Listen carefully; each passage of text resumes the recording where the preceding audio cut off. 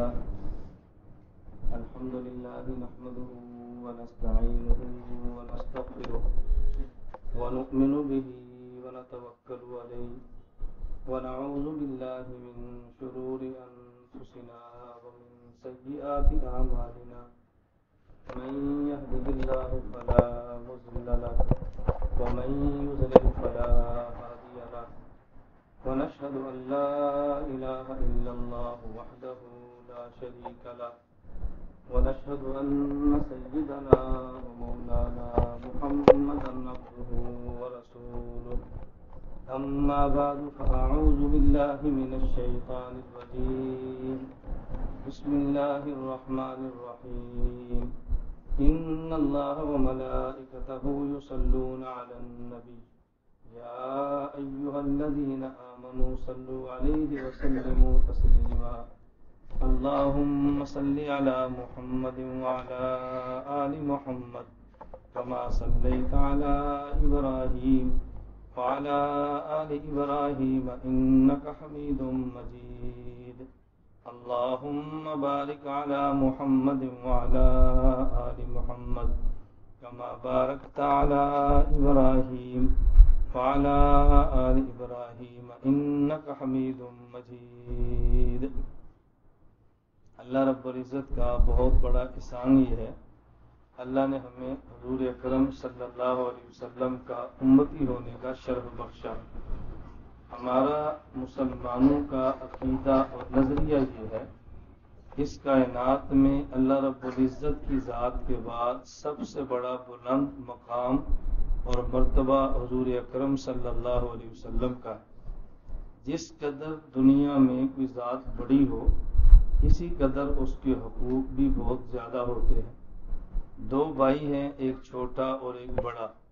تو چھوٹے بھائی پر بڑے کے حق ہوتے ہیں عظمت اور احترام کی وجہ سے۔ ایک والد اور ایک بیٹا ہے۔ تو اولاد پہ حق ہے اپنے والد کا یا اپنی ماں کا۔ والد کی عظمت اور احترام کی وجہ سے۔ ایک شاگرد اور ایک استاذ ہے۔ تو استاذ کے شاگرد کے ذمے حقوق ہیں۔ استاذ کے ادب، احترام اور عظمت کی وجہ سے۔ اسی طرح دنیا میں جس قدر ہمارے رشتے ہیں، ان تمام رشتوں کی بنیاد حضور اکرم صلی اللہ علیہ وسلم کی ذات گرامی ہے۔ ہمارے دنیا میں کچھ رشتے ایسے ہیں جو خون کے ہیں اور کچھ رشتے ایسے ہیں جو ایمان کے ہیں۔ خون کے رشتوں کی قیمت بھی انسان کو ذہن میں رکھنی چاہیے لیکن ایمان کے رشتوں کو انسان کو قطن بھولنا نہیں چاہیے۔ ہمارے خونی رشتے ہیں، اس کی قدر بھی کریں، احترام بھی کریں۔ اور خونی رشتے کے باہمی احترام کا نام سلا رامی ہے۔ اپنے رشتہ داروں کے ساتھ تعلقات رکھنا، اپنے رشتہ داروں کا خیال رکھنا۔ اور صرف یہ نہیں، اگر رشتہ دار خیال رکھیں تو ان کا خیال رکھنا۔ رشتہ دار خیال نہ رکھیں پھر ان کا خیال رکھنا۔ یہ ہے سلا رحمی ہمارے یہاں عموماً سلا رحمی کا مطلب کیا ہے کہ جو رشتہ دار ہمارا خیال کرے ہم ان کا خیال کریں، اس کو شریعت کی زبان میں سلا رحمی نہیں کہتے، اسے مقافات کہتے ہیں۔ بدلہ کوئی ہمیں کھانا بھیجے ہم اسے بھیجیں۔ ہمارے جانے پر کھڑا ہو، ہم اس جانے پر کھڑے ہو جائیں۔ وہ ہمیں سلام کرے، ہم اسے سلام کریں۔ یہ سلا رامی نہیں ہے، یہ انسان اجنبیوں کے ساتھ بھی ایسے کرتا ہے۔ ہمارا عموماً مزاج کیا ہے؟ اگر برادری کا کوئی بندہ ہماری عزت نہ کرے، ہم اس کی عزت نہیں کرتے۔ کہتے ہیں، جب وہ میری عزت نہیں کرتا تو میں کیوں کروں؟ اس نے مجھے نہیں بلایا تو میں کیوں بلاؤں؟ اس نے مجھے نہیں پوچھا تو میں کیوں پوچھوں؟ یہ سلا رامی اور انسانیت نہیں ہے۔ سلا رحمی اور انسانیت کا تقاضا کیا ہے؟ رسول اکرم صلی اللہ علیہ وسلم نے فرمایا، سل من قطع جو تم سے تعلقات توڑے، تم ان سے تعلقات جوڑو، یہ ہے سلا رامی اگر بھائی نے بھائی سے اچھا سلوک نہیں کیا، دوسرا اچھا سلوک کرے، یہ ہے سلا رحمی اگر چچا بتیجے سے اچھا تعلق قائم نہیں کرتا بتیجا اس سے قائم کرے، اس کا نام ہے سلا رحمی ایک آدمی بیمار ہے اور رشتے دار اس کو پوچھنے کے لیے نہیں آتا، اگر وہ بیمار ہو جائے تو یہ پوچھنے کے لیے جائے، اس کا نام ہے سلا رحمی اس لیے میں بتا رہا تھا کہ ہمیں خونی رشتوں کی قدر بھی کرنی چاہیے اور خونی رشتوں کا احترام بھی کرنا چاہیے۔ ہمارے یہاں عموماً ایک جملہ لوگ استعمال کرتے ہیں کہ اس دور میں تو لوگوں کا خون سفید ہو گیا۔ ہے خون کے سفید ہونے کا مطلب کیا ہے؟ جس کا خون سفید ہے، وہ در حقیقت خون سفید نہیں ہوتا، خون سرخ ہی رہتا ہے۔ لیکن وہ خون سرخی کے باوجود کام ایسے کرتا ہے کہ جیسے خون سفید ہو گیا۔ آدمی کے جسم کا خون اگر سفید ہو جائے تو پھر انسان زیادہ دیر تک زندہ نہیں رہتا۔ اس کا مطلب یہ تھا کہ ہمارے ہی اس کا خون سفید ہو گیا کہ جو اس کو ہمارے ساتھ تعلق رکھنا چاہیے تھا یہ نہیں رکھتا۔ تو دعا کرے اللہ ہم سب کو اپنے خونی رشتوں کو نبھانے کی توفیق عطا فرمائے۔ خونی رشتوں کی بہت زیادہ قدر اور بہت زیادہ عظمت رسول اللہ صلی اللہ علیہ وسلم نے بیان فرمائی ہے۔ بلکہ اللہ کے نبی نے یہاں تک ارشاد فرمایا، اگر کوئی آدمی اپنے رشتہ دار کو پیسہ خرچ کرتا ہے، اللہ اس کو دوہرے اجر عطا فرمائیں گے۔ ایک اجر اس کو سلارامی اور رشتہ داری نبھانے کا ہوگا اور دوسرا اجر اس کو صدقہ اور خیرات کا ملے گا۔ یہ مسئلہ ذہن نشین فرما لیں۔ اگر ہمارے اپنے خاندان میں کوئی غریب اور مستق موجود ہے، تو اس کا حق ہمارے ذمے پہلے ہے۔ اور دور والے غریب کا حق بعد میں ہے۔ ہم عموماً اپنے غریب، اپنے رشتے دار کا خیال نہیں کرتے اور باہر سے مدارس کا خیال بھی کرتے ہیں، مساجد میں چندے بھی دیتے ہیں اور باہر والے لوگوں کا خیال بھی کرتے ہیں۔ اپنے رشتے دار کا حق پہلے ہے اور دوسرے رشتے داروں کا حق بعد، اپنوں کا حق پہلے ہے اور اجنبیوں کا حق بعد کے اندر ہے۔ تو ایک ہمارا رشتہ وہ ہے جو خون کی وجہ سے اور دوسرا ہمارا رشتہ وہ ہے جو ایمان کی وجہ سے۔ حضور اکرم صلی اللہ علیہ وسلم نے فرمایا المؤمنون کا جسد واحد؟ دنیا بھر کے تمام مسلمان ایک جسم کی طرح ہے اشتقا آئینو اشتقا کلو۔ اگر آدمی کی آنکھ میں درد ہو، تو پورا جسم اس درد کو محسوس کرتا ہے۔ وہ کا راسو اشتقا کلو۔ اگر آدمی کے سر میں درد ہو تو پورا جسم اس درد کو محسوس کرتا ہے۔ درد آنکھ میں ہوتی ہے اور چلتا پاؤں ہے۔ درد آنکھ میں ہوتی ہے اور بولتی زبان ہے۔ درد آنکھ میں ہوتی ہے اور انجیکشن اور ٹیکے کی درد کو برداشت بازو کرتا ہے۔ ایک آنکھ کے لیے سارے جسم کے اعضاء پریشان ہے تو اگر انسان میں ایمان موجود ہو، تو دنیا کے کسی کونے میں ایک مسلمان کو تکلیف ہو، تو دوسرے کونے میں بسنے والے مسلمان کو تڑپنا، یہ ایمان کی نشانی ہے۔ اللہ ہم سب کو یہ ایمانی رشتے عطا فرمائے۔ ہم یہ ذہن نہ بنایا کریں کہ اگر طوفان فلاں شہر میں ہم تو بچ گئے ان کی گندم خراب ہوگی، ہماری تو ٹھیک ہے۔ فلاں جگہ پر سیلاب ہے، ہم تو محفوظ ہیں۔ یہ انسانیت اور ایمانیات کے تقاضوں کے خلاف ہے۔ تو ہمارے انسانی رشتے بھی ہیں اور جسمانی بھی ہیں۔ اور ان سارے رشتوں کی بنیاد کون ہے؟ حضور اکرم صلی اللہ علیہ وسلم کی ذات گرابی ہمیں سب کچھ کیا عطا اللہ کی ذات نے۔ ہے لیکن اس عطا کا سبب حضور اکرم صلی اللہ علیہ وسلم کی ذات بنی ہے۔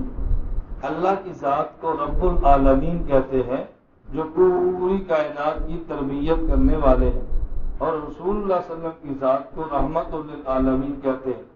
حضور پوری کائنات کے لیے رحمت ہے اب دیکھو لفظ بالکل ایک جیسے ہے۔ ادھر بھی العالمین ہے، ادھر بھی العالمین ہے۔ ادھر شروع میں رب ہے، ادھر شروع میں رحمت ہے۔ تو پوری کائنات کے رب اللہ کی ذات ہے اور پوری کائنات کی رحمت حضور اکرم صلی اللہ علیہ وسلم کی ذات ہے۔ اس سے آپ ایک ذرا سوال کا جواب سمجھیں۔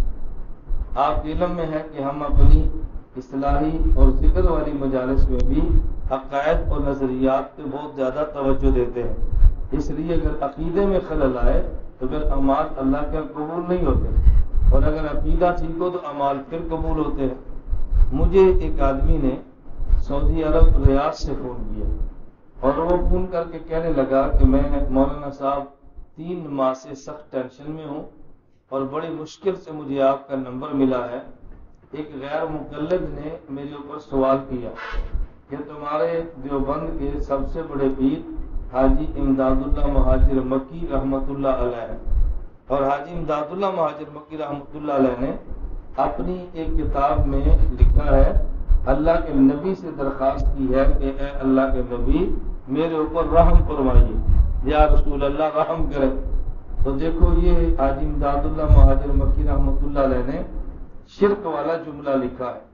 رحم اللہ سے مانگتے ہیں اور تمہارے پیروں کے پیر سید الطائفہ حاجی امداد اللہ، مہاجر مکی نے اللہ کے نبی سے رحمت مانگی ہے، تو یہ شرک کیا ہے؟ میں نے اس سے جواب دیا۔ میں نے کہا جواب یہ اچھی طرح سمجھے اور پھر اس غیر مقلد کے سامنے اس جواب کو پیش کریں۔ غیر مقلد تو سمجھتے ہیں نا؟ ریال حدیث، جماعت الدعوا لشکر طیبہ آفت سعید کا گروپ یہ سارا غیر مقلدین کا ہے۔ میں وضاحت اس لیے کرتا ہوں کہ بات کھلی کھلی ہونی چاہیے اور میں بارہ کہہ چکا ہوں ہم سے وہی تعلق رکھے جو باطل سے بیزار ہے۔ جو باطل سے بیزار نہیں ہے، نہ ہماری خانقاہ میں آئے، نہ ہم سے تعلق رکھے، وہ کسی اور جگہ جا کے ٹھکانے لگائے۔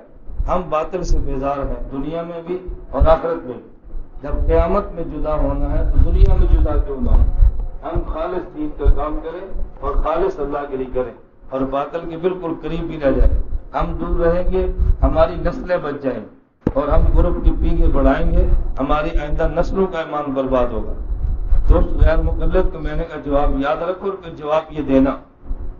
عموماً ہمارے لوگوں کا مزاج یہ ہے، ہم خانقاہ اور پیروں سے سمجھتے ہیں کہ جو برے کو بھی برا نہ کہے، غلط کو بھی غلط نہ کہے۔ یہ کون سا پیر ہے جو غلط کو بھی غلط نہ کہے؟ پیر تو وہی ہوگا جو غلط کو غلط کہے ٹھیک کو ٹھیک کہے۔ جس نے غلط کو بھی ٹھیک کہنا ہے، یہ پیر نہیں ہے۔ یہ پیری کے روپ میں شیطان ہے۔ جو غلط کو بھی غلط نہیں کہتا، غلط کو بھی ٹھیک کہتا ہے۔ خانقاہیں اس لیے نہیں ہیں کہ نظریات بگاڑے خان کا اس لیے کہ امت کے نظریات سنبھالیں اس لیے ہمارے یہاں مرکز بھی ہے اور خانقاہ بھی ہے۔ ہم علمی اصلاح بھی کرتے ہیں، عملی اصلاح بھی کرتے ہیں۔ اللہ پاک ہمارے نظریات کی بھی اصلاح کرے۔ اللہ ہمارے اعمال کی بھی اصلاح فرمائے۔ اور یہ بات آپ دل کی کھڑکیاں اور دل کی کام کھول کے سنیں۔ عمل کی کوتاہی کا تدارک بہت آسان ہے۔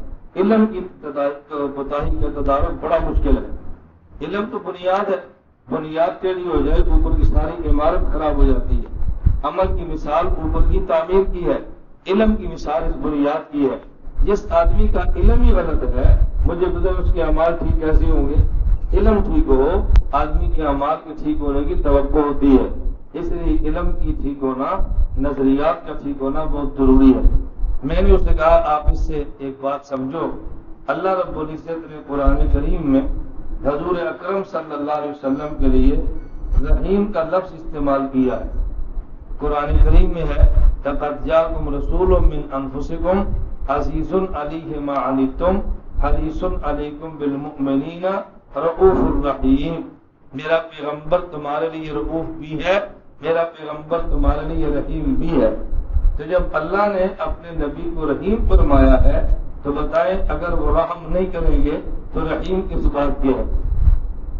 آپ کسی بندے کو کہیں کہ جی میں آپ کو قاری تو مانتا ہوں، لیکن آپ سے قرآن نہیں سنتا۔ آپ کو امام صاحب تو مانتا ہوں، آپ کے پیچھے نماز نہیں پڑھتا۔ میں آپ کو مفتی صاحب تو مانتا ہوں، لیکن آپ سے فتوا قبول نہیں کرتا۔ یہ جی بات ہے، اس سے کیسا مفتی مانے؟ میں مفتی مانتا ہوں فتوا آپ کا نہیں مانتا۔ میں آپ کو پیر صاحب مانتا ہوں، بیت آپ کی نہیں مانتا۔ خطیب صاحب مانتا ہوں، آپ کی تقریر نہیں مانتا۔ قاری صاحب آپ کو مانتا ہوں، آپ کی قرآت نہیں مانتا۔ تو تو نے مانا پھر کیا ہے؟ میری بات سمجھ آ رہی ہے؟ کیا مانا؟ اللہ کے نبی کو میں آپ کو رحیم تو مانتا ہوں، لیکن آپ سے رحم کی درخواست نہیں کرتا۔ میں نے کیسا عقل کا اندھا ہے؟ جب یہ رحیم ہے تو رحم فرمائیں گے۔ اگر رحم نہیں فرمائیں گے تو پھر رحیم کیسے؟ رحیم داد اللہ حاضر مکی رحمۃ اللہ علیہ کی اس عبارت کا جواب اللہ کریم نے قرآن کریم میں کئی سو سال قبل اپنے پیغمبر کے اتار کے ارشاد فرما دیا۔ تو اللہ رب العزت کی ذات رب العالمین ہے اور حضور اکرم صلی اللہ علیہ وسلم کی ذات رحمت للعالمین ہے۔ درائی کا آپ نقطہ سمجھنا۔ قیامت کے دن میدان معاشر میں اللہ رب العزت عدالت قائم فرمائیں گے امت کے اعمال کے حساب کے لیے۔ بلکہ امتوں کے اعمال کے حساب کے لیے اللہ جو وہ عدالت لگائیں گے، وہ جج اور قاضی بن کے نہیں لگائیں گے، بلکہ وہ مالک بن کے لگائیں گے۔ اگر جج کی عدالت ہو، اس میں ملزم کے لیے وکیل آتا ہے۔ اور جب مالک کی عدالت ہو، تو پھر ملزم کے لیے وکیل نہیں آتا، پھر سفارشی آتا ہے۔ اور یہ دیکھتے ہیں کہ مالک کتنا بڑا ہے۔ جتنا بڑا مالک ہو، اس کے لیے سفارشی اتنا بڑا تلاش کیا جاتا ہے۔ جتنا بڑا مالک ہو، جتنے اس کے اختیارات ہو، سفارشی اس کے حساب سے تلاش کرتے ہیں۔ اب اگر آپ نے سفارش کرانی ہے کسی وزیر سے، تو وزیر سے اگر اس کے پاس کیس ہو، ہم سفارش کرائیں گے، تو عام بندہ تو لے کر نہیں جائیں گے نا؟ کد کاٹ والا بندہ لے کر جائیں گے، وزیر کا قریبی لے کر جائیں گے، تعلق والا لے کر جائیں گے۔ تو قیامت کے دن جس مالک کی عدالت ہے، وہ مالک رب العالمین ہے۔ اس مالک کی عدالت میں ملزمین کی سفارشوں کے لیے جو ذات پیش ہونی ہے، اس ذات کا نام رحمت للعالمین ہے۔ جس طرح کائنات کے ذرے ذرے کا اللہ رب ہے، یہ کائنات کے ذرے ذرے کی رحمت ہے۔ تو جتنا بڑا رب ہے اور مالک ہے، حضور اتنے بڑے نہیں ہیں، لیکن اللہ کے نبی کا آپ دیکھیں نا رحمت ایک ایک ذرے پر محیط ہے، ایک ایک ذرے کو شامل ہے۔ تو رسول اللہ صلی اللہ علیہ وسلم قیامت کے دن خدا کی عدالت میں ہم سب کی شفاعت کریں گے۔ اور نبی وسلم شفاعت کس کی کریں گے؟ اس کے لیے اللہ کے نبی نے خود فرمایا میں فلاں کی سفارش کروں گا، فلاں کی کروں گا، فلاں کی کروں گا، فلاں کی کروں گا۔ اللہ کے نبی خود فرما رہے ہیں، میں کس کس کی سفارش کروں گا؟ حضور نے خود ارشاد فرمایا، اس پر میں مسئلہ سمجھانے کے لیے قرآن کریم کی آیت تلاوت کی ہے کہ اللہ کی ذات کے بعد سب سے بڑی ذات حضور اکرم صلی اللہ علیہ وسلم کی ہے۔ اللہ رب العزت نے ہمارے پیغمبر کے ہمارے ذمہ حق رکھے۔ اور اس سے بڑی بات کیا ہے؟ پر میں النبی اولا بالمؤمنین من انفسهم وازواجه وازواجه امهاته پر میں کہ دیکھو، میرے محمد کا پتہ ہے تمہارے اوپر کتنا حق ہے۔ النبی اولا بالمؤمنین من انفسهم جتنا تمہارے اوپر تمہاری جان کا حق ہے، اس سے زیادہ میرے محمد کا تمہارے اوپر حق۔ اپنی ذات سے زیادہ حق حضور پاک کا تمہارے اوپر ہے۔ کیا مطلب؟ جس طرح آدمی اپنی ذات کے لیے کماتا ہے، اپنی ذات کو زندہ رکھنے کے لیے کھاتا ہے، اپنی ذات کو برقرار رکھنے کے لیے پہنتا ہے، اپنی ذات کی حفاظت کے لیے یہ بندہ سارا کچھ کرتا ہے۔ تو اللہ رب العزت نے بات سمجھائی کہ دیکھو، میرا پیغمبر النبی اولا بالمؤمنین من انفسہم، میرے پیغمبر کا حق تمہاری ذات سے زیادہ تمہارے اوپر ہے اور میرے پیغمبر کی بیویاں، یہ سارے ایمان والے انسانوں کی مائیں اللہ نے حضور کی بیوی کو ہمارا ماں ہماری ماں فرمایا اور پیغمبر کی ذات کی طرح حق بیان فرمایا۔ اس آیت میں اللہ نے حکم دیا ہے، ان اللہ و ملائکتہ یصلون علی النبی. یا ایھا الذین آمنوا صلو علیہ وسلموا تسلیما. میرے پیغمبر پہ درود پڑا کرو، میرے پیغمبر پہ صلاۃ و سلام پیش کیا کرو. اللہ پاک نے فرمایا کہ یہ ایک ایسا عمل ہے کہ جو اللہ خود بھی کرتا ہے، اللہ کے فرشتے بھی کرتے ہیں اور اللہ تمہیں حکم دیتا ہے کہ یہ کام تم بھی کرو۔ ہمارے علماء نے لکھا ہے، اگر تو بندہ آپ سے پوچھے کہ دنیا میں ایسا کام کون سا ہے جو اللہ خود بھی کرتے ہیں اور بندو سے کہتے ہیں وہی کام تم بھی کرو جو میں کرتا ہوں۔ تو وہ عمل کون سا ہے؟ رسول اللہ صلی اللہ علیہ وسلم پہ ضرور پڑھنا۔ اللہ اپنے نبی پہ درود پڑھتے ہیں اور ہمیں حکم دیا کہ تم بھی درود پڑھو۔ ان اللہ و ملائکۃ یصلون علی النبی۔ سب ایک بار محبت کے ساتھ درود پاک پڑھ لیں۔ اللهم صل علی محمد وعلى آل محمد كما صليت على ابراهيم وعلى آل ابراهيم انك حميد مجيد. اللهم بارك على محمد وعلى آل محمد كما باركت على ابراهيم وعلى آل ابراهيم ان کا حمید فرمایا کہ اللہ درود پڑھتا ہے، فرشتے پڑھتے ہیں، تم بھی پڑھو۔ اب میں دو تین مسئلے پیش کروں میں ذرا اس کو ذہن میں رکھ لیں، اس آیت کے حوالے سے۔ پہلی بات یہ سمجھیں کہ اللہ نبی پر درود پڑھے، اس کا معنی الگ ہے۔ فرشتے پیغمبر پہ درود بھیجے اس کا معنی الگ ہے۔ امتی نبی پر درود بھیجے اس کا معنی الگ ہے۔ جب ہم کہتے ہیں اللہ اپنے نبی پہ درود پڑھتا ہے، تو اس کا مطلب یہ ہے، اللہ اپنے پیغمبر کی درجات کو بلند کرتا ہے۔ اللہ اپنے پیغمبر پہ رحمتیں نازل کرتا ہے۔ اور جب یہ کہتے ہیں کہ فرشتے اللہ کے نبی پر درود پڑتے ہیں، تو اس کا معنی یہ ہے کہ فرشتے بھی اللہ سے دعا مانگتے ہیں اور فرشتے بھی پیغمبر کی عظمت، پیغمبر کی مدد اور پیغمبر کی تعریف کرتے ہیں۔ اور جب ہم کہتے ہیں کہ بندہ اور انسان نبی پہ درود پڑتا ہے، اس کا معنی یہ ہے، یہ اللہ سے اپنے نبی کے لیے دعا مانگتا ہے۔ کہ اللہ، ہمارے اس محبوب کے درجات کو بلند فرما دے۔ تو اللہ کی ضرورت پڑنے کا معنی اور ہے، نبی پاک کے درود پڑھنے کا معنی اور ہے۔ اور امت اور انسانوں پہ فرشتوں کے درود پڑھنے کا مطلب اور ہے اور انسانوں کے درود پڑھنے کا مطلب اور ہے۔ دوسری بات سمجھیں، اللہ نے ہمیں دو باتوں کا حکم دیا ہے اور خود ایک بات فرمائی ہے۔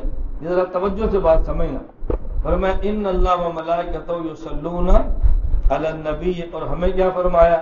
یا ایوہ الذین آمنوا صلو علیہ وسلموا۔ ہمیں کہا سلاد بھی پڑھو، سلام بھی پڑھو۔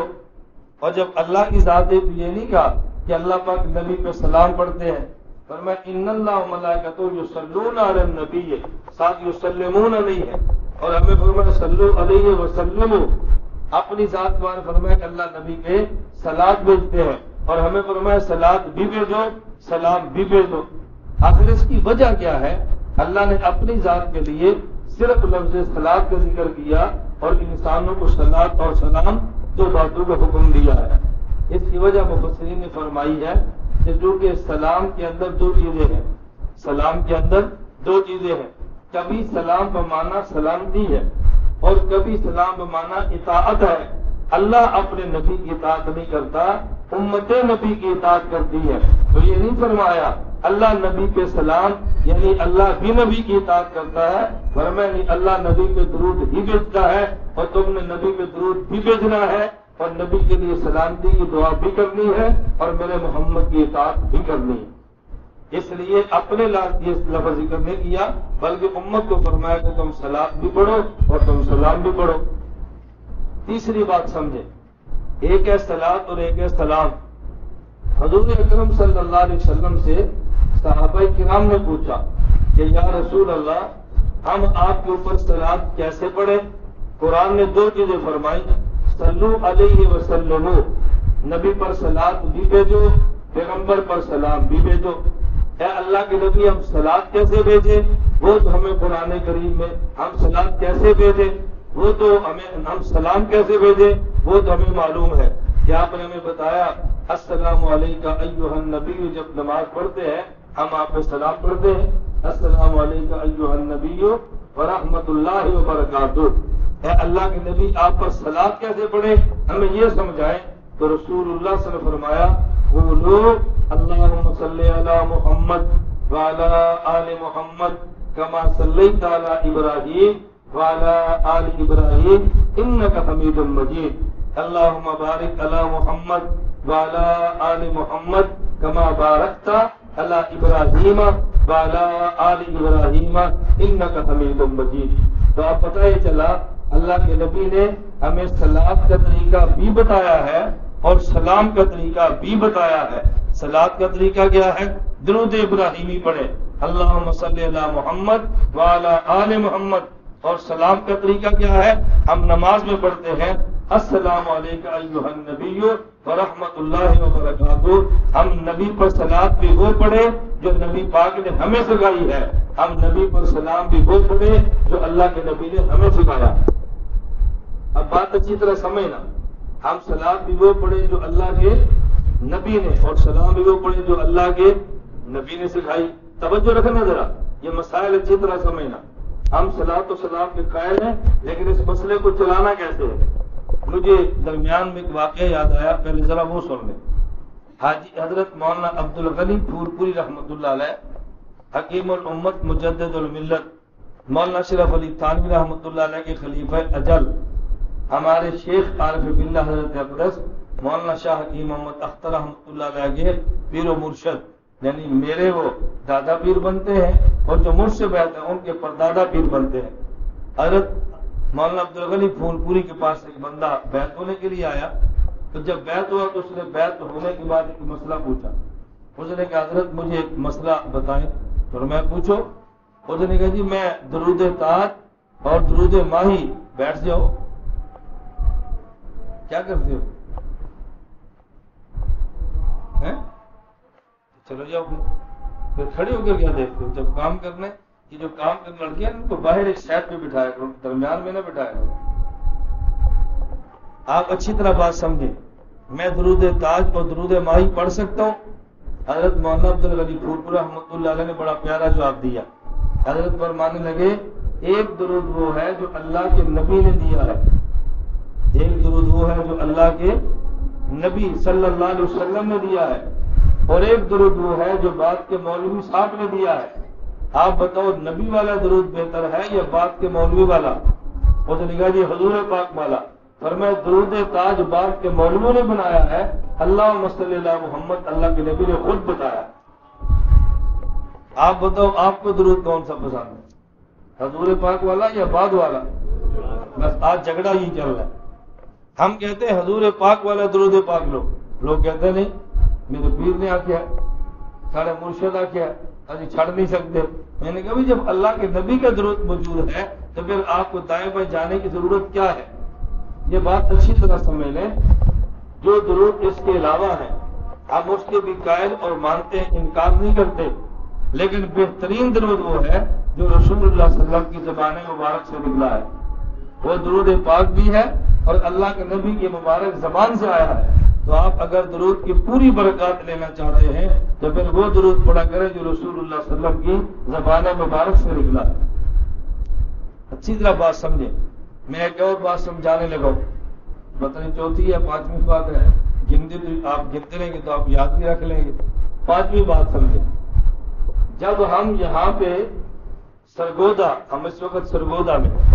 جب ہم یہاں سرگودا میں درود پاک پڑھیں تو پڑھے اللہ مسلی علی محمد والا آل محمد کما صلی تعالی ابراہیم والا آل ابراہیم انکا حمید مجید.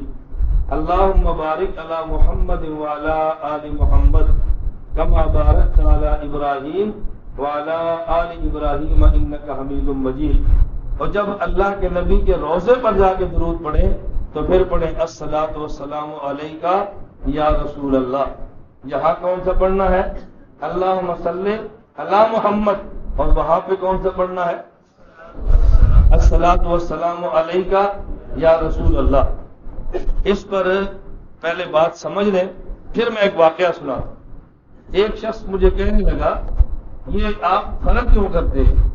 یہاں اللہ مسل اللہ محمد پڑھتے ہیں اور نبی کے روزے پہ جا کے سلاۃ السلام علیہ یا رسول اللہ پڑھتے ہیں۔ میں نے کہا، ہمارا دیوبند والوں کا نظریہ یہ ہے کہ درود پاک حضور کی خدمت میں ہدیہ ہے۔ درود پاک حضور کی خدمت میں تحفہ ہے۔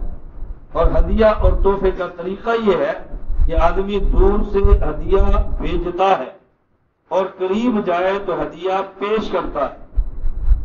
دور سے ہدیہ بیچتا ہے اور قریب جائے تو درود ہدیہ پیش کرتا ہے۔ اگر بیٹا جدہ میں ہے اور ماں اور باپ سرگودا میں ہے تو جدہ سے بیٹا کسی کے ہاتھ کمبل ابو جان کے لیے بیچتا ہے۔ کسی کے ہاتھ امی جان کے لیے چادر بیچتا ہے۔ اور جب سرگودا آئے تو ابو جان کی خدمت میں کمبل پیش کرتا ہے۔ امی جان کی خدمت میں چادر پیش کرتا ہے۔ تحفے اور ہدیے کا ضابطہ یہ ہے، دور سے بھیجا جاتا ہے اور قریب جا کر پیش کیا جاتا ہے۔ ہم جب یہاں سے درود ہدیہ دیں، ہم کہتے ہیں اللہ صلی اللہ محمد۔ اے اللہ، ہم یہاں سرگودا میں ہیں، ہمارے نبی مدینہ میں ہیں۔ ہم یہاں زندہ ہیں، وہ مدینہ میں زندہ ہے۔ ہم اپنے گھر زندہ ہیں، وہ اپنی قبر مبارک میں زندہ ہے۔ اللہ صلی اللہ محمد۔ اے اللہ، ہمارے اس درود کو حضور کی خدمت میں پہنچا دے۔ اور جب روزے پر جائیں تو کہتے ہیں السلام السلام علیکم یا رسول اللہ۔ حضور ہمارے درود کو قبول فرما لیں۔ ہم دور سے ہدیہ بھیجتے ہیں اور قریب جائے تو ہدیہ پیش کرتے ہیں۔ ہدیے کا طریقہ یہی ہے نا، بھائی دور سے بھیجتے اور قریب سے۔ آپ کسی کو ہدیہ دیں اپنے استاد کو، اپنی ماں کو، اپنے دوست کو اور دور سے دیں تو پھر بھیجتے ہیں یا پھینک دیتے ہیں۔ اور جب قریب جائے تو پھر ہمارے ہدیے کی ترتیب جو بندیوں میں نہیں چلتی۔ میں ہمارے دوست سے میں نے مزاق کے طور پر کہا، میں نے کہا، ہمارے اور ان کے مریدوں میں فرق کیا ہے؟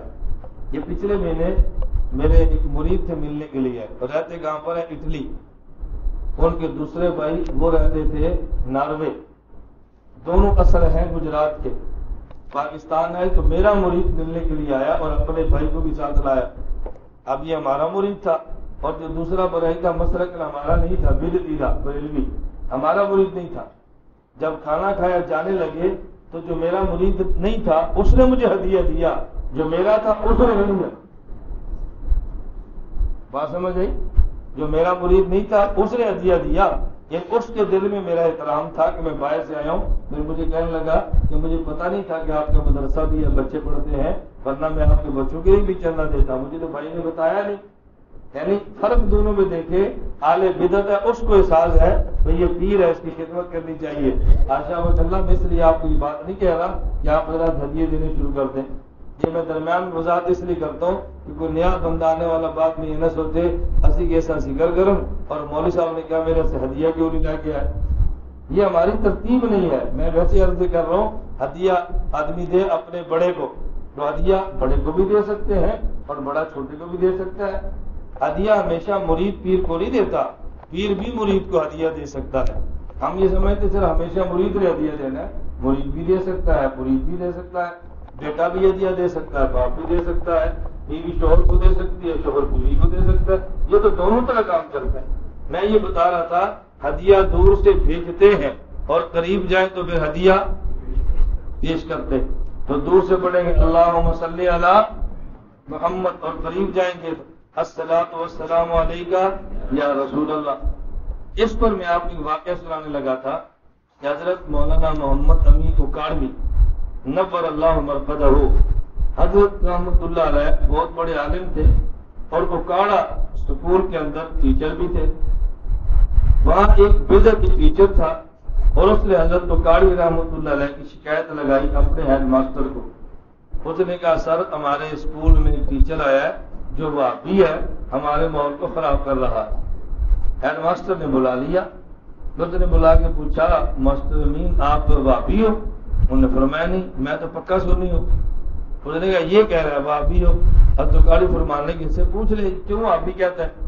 اس سے پوچھ تو صحیح نا، مجھے وہ آپ کہتا کیوں ہے؟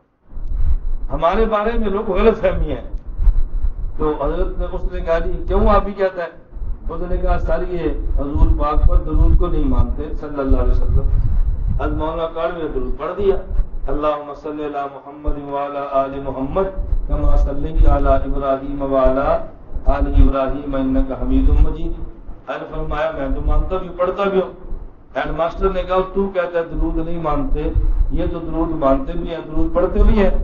اس نے کہا، نہیں سر جی یہ بیٹھ کے پڑھتے ہیں، کھڑے ہو کے نہیں پڑھتے حد مولانا کاڑی سے فرمانے لگے، جھوٹ بولتا ہے۔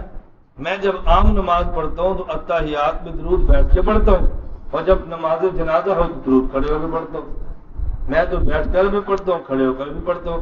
اس نے کہا ہاں بھائی، ہوں دس۔ اب بتا۔ اس نے کہا، نہیں سر جی یہ اللہ مسلی اللہ محمد پڑھتے ہیں السلام السلام علیکم یا رسول اللہ، نہیں پڑھتے۔ مولانا کاڑی فرمانے لگے جھوٹ بولتا ہے۔ میں جب اکاڑا میں ہوں اللہ مسلی اللہ محمد پڑھتا ہوں۔ جب حضور کے پاس جاؤں، السلام السلام علیکم یا رسول اللہ پڑھتا اس تو یہ بھی مانتے ہیں، اب تو بتا، اب اس کے پاس کوئی جواب نہیں تھا۔ حضرت میں فرمایا، اب یہ نہیں بتائے گا، میں بتاؤں گا۔ اختلاف کے یہ نہیں بتا سکتا، میں بتاؤں گا۔ اس جی آپ بتائیں۔ حضرت نے فرمایا، یہ کہتا ہے، وہاں والا درود یہاں پڑھو۔ میں نے کہا نہیں، یہاں والا یہاں پڑھیں گے، وہاں والا وہاں پڑھیں گے۔ یہاں والا یہاں پڑھیں گے اور وہاں والا وہاں پڑھیں گے۔ ہم اللہ کے نبی پہ درود پڑھتے ہیں اور اپنا ایمان سمجھ کے پڑھتے ہیں۔ اپنا ایمان سمجھ کے پڑھتے ہیں۔ ایک چھٹی بات سمجھیں۔ اللہ نے قرآن کریم میں ہمیں فرمایا، یا ایوہ الذین آمنوا صلو۔ ایسے ہی ہے۔ اے ایمان والو، درود پڑھو۔ ہم نے درود پڑھنے کی بجائے کیا کہہ دیا؟ اللہ صلی اللہ محمد۔ اللہ نے ہمیں فرمایا، تم پڑھو۔ ہم نے درود پڑھنے کی بجائے الٹی بات کہہ دی ہے اللہ صلی اللہ محمد۔ تو کوئی بندہ کہتا ہے، یہ بات تو ٹھیک نہیں ہے۔ اللہ فرماتا ہے، تم پڑھو۔ اور ہم نے خود پڑھنے کی بجائے اللہ سے کہہ دی اللہ صلی اللہ محمد۔ اللہ آگ بھی بڑھے۔ تو جو کام ہمارے ذمہ تھا، ہم نے اللہ کے ذمہ لگا دیا۔ سوال سمجھ آ گیا؟ یہ میں وہ سوالات بتا رہا ہوں جو لوگوں نے آپ سے کر رہے ہیں اور آپ کورس کرنے کے لیے نہیں آتے اور پھر آپ کو جواب سمجھ نہیں آیا۔ میں سربودا والے سے کہتا ہوں، باقی دنیا کے لوگ کورس کریں یا نہ کریں، آپ میں سے کوئی ایک بھی ایسا بندہ نہ بچے جس نے یہاں پہ تین دن کورس نہ کیا ہو۔ آپ سب ارادہ کرو، ہم کم از کم تین دن کورس کریں گے انشاءاللہ۔ نیت کرتے ہو نا سب انشاءاللہ؟ آپ کے علم میں انگریزی ماہ کی پہلی جمعرات مغرب کو کورس شروع ہوتا ہے اور اتوار صبح نو بجے دعا ہو جاتی ہے۔ خود بھی کرے اور دوسروں کو ترغیب بھی دے اور ابھی انشاءاللہ اکتیس مئی صبح ساڑھے سات بجے کورس شروع ہوگا اور بارہ جون تک یہ بارہ دن کا دورہ تحقیق المسائل ہوگا۔ اصل یہ دورہ علماء کے لیے ہے، طلباء کے لیے ہے، لیکن آپ میں سے بھی کچھ شرکت کا شوق رکھتا ہو، آپ اس میں شرکت کریں۔ ان دنوں میں تو میرا خیال ہے کالج میں بھی شاید اسکولوں میں چھٹیاں ہوگی یونیورسٹی اور کالج کے لڑکے بھی آ سکتے ہیں۔ بازو کو اس بات کی اہمیت نہیں ہے نا۔ تو میں ابھی میاں والی تھا۔ یہ دو دن پہلے کی بات ہے۔ میں نے گاؤں کو ترغیب دی۔ میاں والی کچھ علماء تھے، مفتی حضرات تھے۔ تو میں نے کبھی آپ سرگودے، کچھ دیر کے لیے تشریف لائے ہمارے پاس کورس کریں تو مجھے وہ کہنے لگا، ساتھی کہتے ہیں، مولانا صاحب کتنے میاں علی سے کتنے سرگودا؟ میں کہ رائے جاتے ہو؟ کہتے جی ہاں میں نے کہا کتنے میاں علی سے کتنے رائے رائے گنج جا سکتے ہو، درمیان میں سرگودا تم سکاپ نہیں مار سکتے۔ وجہ کیا؟ کہ دل میں اہمیت نہیں ہے، کام کی عظمت نہیں ہے۔ اور یہ میں ان علماء کی بات کرتا ہوں، جب بھی بستے ہیں، پھر بندہ رائے گنج سے نہیں بلاتے، بندہ یہاں سے رہتے۔ مولانا صاحب کو ساتھی بھیج دو چھدرو پاس گئے تو ساتھی بھیج دو فلان شہر پاس گئے پھر یہاں سے کئی مولانا آتے جا رہے ہیں۔ کبھی کوئی جا رہا ہے، کبھی کوئی جا رہا ہے، یہاں سے ساتھی جا رہے ہیں۔ میں نے کہا، جب پھنس جاؤ، تو آپ نے ہمیں بلانا ہے۔ اور جب خوش ہو، پھر بھی ہمارے پاس آ جایا کرو، اس سے فرق کیا پڑتا ہے؟ اس کا اہتمام کرنا چاہیے کہ نہیں؟ یہ بات کام کھول کے سن لیں، رائے ون مرکز بھی ہمارا ہے اور یہ مرکز والوں سنت سرگودا والا مرکز بھی ہمارا ہے۔ یہ دونوں ہمارے ہیں یا نہیں؟ یہ آپ نے توڑ کے کیوں توڑ کیوں پیدا کر رکھا ہے۔ میں آج ساتھی موجود ہے میں، مجھے آج فون کیا استاد جی میں نے آنا، میں نے کہا جو میں نے کہا، مغرب پڑھو. کیا جواب دے رہے کہتے ہیں آج شب جمعہ ہے. تو میں نے کہا، میں شب جمعہ پر ہی بلا رہا ہوں۔ میں کون شب ہفتہ پر بلا رہا ہوں؟ میں نے کہا کہ شب جمعہ کی اجتماع میں شرکت ضروری ہے۔ سرگودا مرکز وہ بھی شب جمعہ ہے۔ آپ یہاں ہیں تو یہاں بھی شب جمعہ ہے۔ مدنی مسجد کا نام بھی مرکز ہے اور اس جگہ کا نام بھی کیا ہے؟ وہاں بھی مغرب کے بعد بیان ہے یہاں بھی مغرب کے بعد بیان ہے۔ تو میں نے کہا، دونوں ہمارے مرکز ہیں، وہاں جائیں تو ٹھیک ہے، یہاں آئے تو ٹھیک ہے۔ میں نے کہا، مہینے میں چار جمعرات ہیں، آپ تین جمعرات وہاں جائیں، ایک جمعرات یہاں پہ آئیں۔ امت کو توڑ رہے ہیں یا جوڑ رہے ہیں؟ بولتے نہیں۔ میں کہ تو تین جمعرات وہاں لگائیں۔ تو میں توڑنے کی بات کروں، جوڑنے کی؟ آپ ایک بار بھی کہتے ہیں نا ایسا نہیں ہونا۔ تو پھر جوڑنے کی بات کرتے ہیں یا توڑنے کی بات کرتے ہیں؟ ہم امت کو توڑتے نہیں ہیں، ہم امت کو جوڑتے ہیں۔ ہم نے دونوں مراکز کو آباد کرنا ہے، انشاءاللہ۔ ہم رائے کے مرکز کو اپنا سمجھتے ہیں۔ بس میں جماعت کے ساتھ بھی کہتا ہوں، آپ اس مرکز کو بھی اپنا سمجھیں۔ اس میں امت میں جوڑ ہوگا اور امت توڑ سے بچ جائے گی۔ امت کو توڑ سے بچانا ہے نا بھی، انشاءاللہ۔ میں جو بات سمجھا رہا تھا، سوال دین میں آ گیا۔ اللہ نے فرمایا سلو علیہ، تم درود پڑھو۔ اور ہم نے کیا کہہ دیا؟ نہ اللہ صلی اللہ محمد، اللہ تو آپ ہی پڑھ۔ کوئی بندہ آپ سے سوال کرے تو آپ نے پھنس جانا ہے۔ اس کا جواب دینے چاہیے فرمایا۔ اصل یہ ہے، اللہ پاک نے ہمیں فرمایا سلو علیہ، میرے پیغمبر پہ درود پڑھو، میرے پیغمبر پہ سلام بھیجو۔ ہم اللہ سے عرض کرتے ہیں، اللہ ہم ہیں نہ پاک، تیرا نبی ہے پاک۔ اللہ ہم ہیں غیر معصوم، نبی ہے معصوم۔ ہم ہیں کم درجہ، نبوت کا ہے بہت بڑا درجہ۔ کہا ہم کہاں نبی اللہ آپ نے حکم دیا ہے؟ ہم خود کو اس قابل نہیں سمجھتے، اپنے پیغمبر پہ خود ضرورت پڑے ہم کہتے ہیں، آپ بھی طاہر ہیں، نبی بھی طاہر ہے۔ اللہ صلی اللہ محمد، اللہ ہم آپ کا حکم مان کے ضرورت پڑنے کے لیے تیار ہیں۔ اور ہم دیتے ہیں، وہ کیا آپ دو بس ہماری طرف سے اللہ ہم آپ سے گزارش کرتے ہیں۔ ہم اس قابل نہیں ہیں، بس آپ یہ احسان فرمائیں اور حضور پاک کو کی شان کے لائق آپ درود پہنچا دیں۔ جب ہم یہاں درود پڑھتے ہیں تو رسول اللہ صلی اللہ علیہ وسلم کے پاس کیسے جاتا ہے؟ اس پر کئی روایات موجود ہیں۔ ایک روایت تو صرف اتنی ہے، من صلی علیہ عند قبری سمیتہ و من صلی علیہ نائین فقط قبلتو دور سے سلام پڑھو سلام پڑھو، میرے پاس پہنچا دیا جاتا ہے۔ میرے روزے پر پڑھو تو مجھے سنا دیا جاتا ہے۔ اور ایک حدیث مبارک، ان للہ ملائکۃ سیاحین فی الارض جو بلغونی من امت السلام.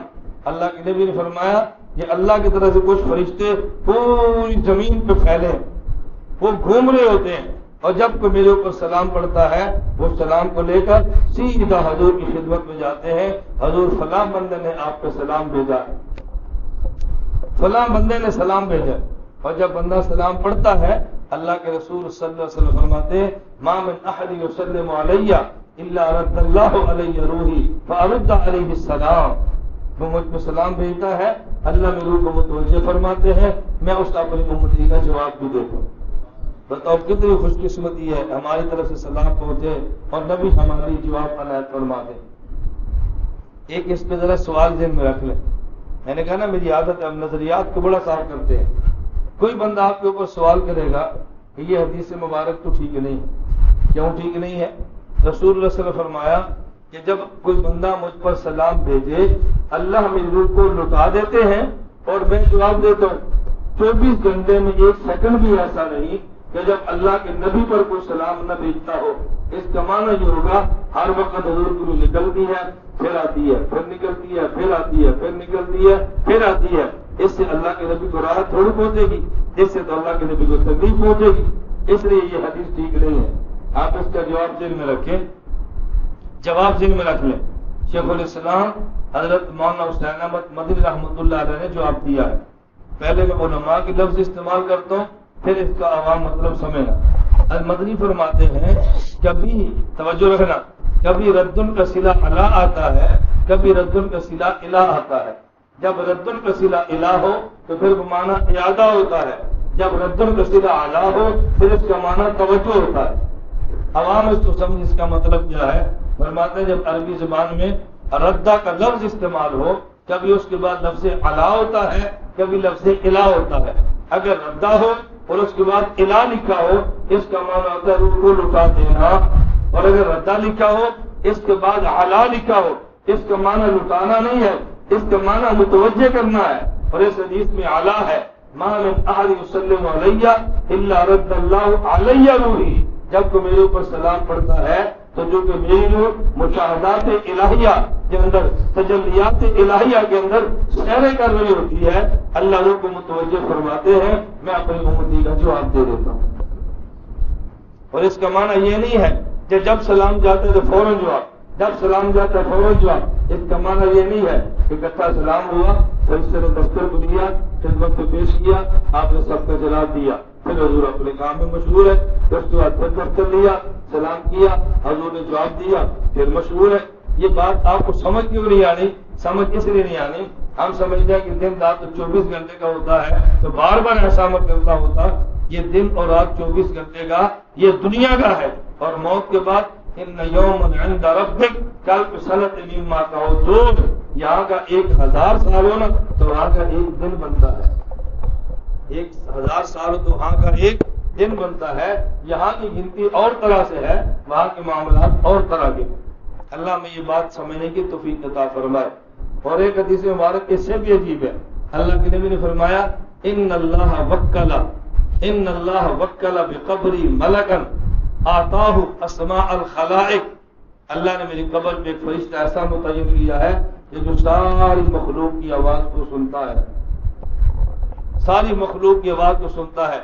فلا يصلي علي احد الى يوم القيامه الا ابلغني باسم باسم باسمه ببر واسم ابيه جب مجھ پر کوئی سلام پڑتا ہے اللہ نے اس کو اتنی طاقت دی ہے، وہ بندے کی آواز کو سنتا ہے، پھر میرے اوپر اس بندے کا اور اس کے والد کا نام لے کے وہ سلام بھیجتا ہے۔ فلا ابن حاضا فلا ابن فلان یسلم علیہ وہ نام لے کر کہتا ہے فلاں نے سلام بھیجا ہے۔ وہ سلام مجھ تک پہنچاتا ہے اور میں اس کو پھر جواب دے دیتا ہوں۔ تمہارا نظریہ ہے، جب یہاں سے درود پڑا جائے، اللہ کے نبی کی خدمت میں اللہ پہنچا دیتے ہیں، اور جب رسول اللہ علیہ وسلم کی قبر کے پاس پڑا جائے، اللہ پاک اپنے نبی کو سنا دیتے ہیں۔ اتنا آج کی مجلس میں یاد رکھے انشاءاللہ آئندہ مجلس میں، آئندہ مہینے کی پہلی جمعرات جو غالباً، میرا خیال ہے، یہ جون کے اندر آئی ہے آئندہ میں تو تفصیل سے بات کروں گا انشاءاللہ کہ حضور پاک صلی اللہ پر جو درود پاک سنا جاتا ہے تو اس میں جو سوالات ہیں نا میں ان سوالات کو صاف کروں گا۔ آپ دو باتیں ذہن میں رکھ لیں ذرا، تاکہ جب آئندہ مجلس میں ہے تو آپ کے ذہن میں ہو، ہم نے بات کس میں کرنی ہے؟ ایک بات ذہن میں رکھے کہ رسول اللہ علیہ وسلم اپنی قبر اطہر میں زندہ ہے کیا ذہن میں رکھیں گے؟ بولیے۔ رسول اللہ وسلم اپنی قبر اثر میں۔ اور دوسری بات جب ہم سرگردا سے درود پڑے اللہ پہنچا دیتے ہیں، اور جب حضور کی قبر میں پڑے تو اللہ سنا دیتے ہیں۔ بس وہ جو سنانے پر اعتراضات ہے نا، اور زندگی پر، میں چیلنج شبہات کا ازالہ کروں گا۔ آئندہ مہینے کی پہلی جمعرات کو آپ ذرا توجہ سے آئیں۔ میں ثابت کہتا ہوں، اور لوگوں کو متوجہ کریں بھائی عقائد کی صلاح کریں، امت کو لائیں۔ کہ ان کی صلاح ہو، ہمارا عقیدہ کھل کر ان کے سامنے ہو۔ اللہ ہم سب کو رسول اکرم صلی اللہ علیہ وسلم کی قدر و منزلت سمجھنے کی توفیق عطا فرمائے۔ نبی کریم صلی اللہ علیہ وسلم کی ذات اثر پہ اللہ میں سب کچھ لٹانے کی توفیق عطا فرمائے۔ اور کثرت کے ساتھ حضور اکرم صلی اللہ علیہ وسلم پر اللہ ہمیں درود پاک پڑھنے کی توفیق عطا فرمائے۔ درود پاک بہت کثرت سے کرنا چاہیے، خصوصاً آج جمعرات ہے اور کل جمعہ ہے۔ جمعے کے دن درود پاک کے بہت زیادہ فسائل آئے ہیں۔ اگر زیادہ نہ بھی ہو، دیکھو سامنے درود پاک یہ لکھا ہوا ہے۔ اللہ مسل محمد النبی الامی وعلی آلہ وسلم تسلیمہ۔ جن کو زبانی یاد ہے، بہت اچھا۔ جن کو نہیں یاد، وہ نماز سے پہلے یا نماز کے بعد اپنی کاپی میں لکھے اور لکھ کر لے جائے جو شخص جمعے کی نماز کے بعد جمعے کے دن اثر کی نماز کے بعد اپنی جگہ پر بیٹھے اور اٹھنے سے پہلے یہ درود اسی بار پڑھے۔ اللہ کے نبی کا وعدہ ہے، اللہ اس کی اسی سال کی گناہ معاف فرماتے ہیں۔ اسی سال کے اللہ مزید درجات، اسی سال کی عبادت کا ثواب دیتے ہیں۔ بتاؤ، اگر ہر جمعے ہمیں اسی سال کی گناہ معاف ہو جائے اور اسی سال کی عبادت تاجر مل جائے، بتاؤ اللہ سے کیا چاہیے؟ تو آپ اس کو یاد کر لیں گے نا بھی انشاءاللہ۔ اس کو یاد بھی کریں اور اس کو لکھ کے لے جائیں اور اس کو اچھی طرح محفوظ رکھیں۔ اللہ ہم سب کو توفیق عطا فرمائے۔ باخر دعوانا ان الحمد للہ رب العالمین۔